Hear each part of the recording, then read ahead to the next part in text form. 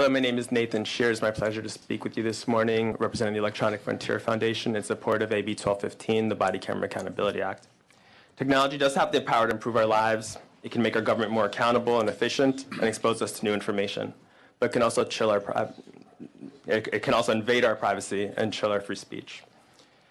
When communities across the state called for broader implementation of police body camera usage, they did so with hopes that greater transparency and accountability would facilitate trust between residents, particularly those in marginalized communities, and the officers sworn to protect them.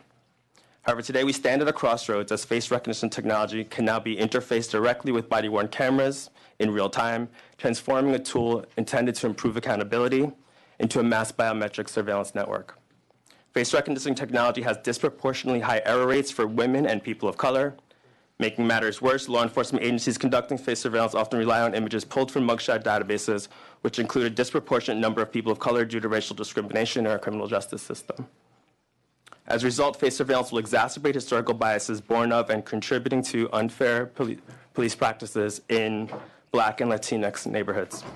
Public safety requires trust between law enforcement and the communities they are sworn to protect.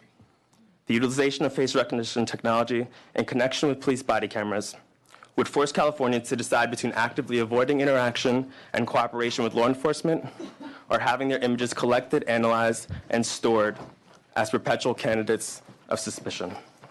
Not only would this further erode community relationships with law enforcement, but in fact escalate the likelihood of a tragic outcome to each interaction.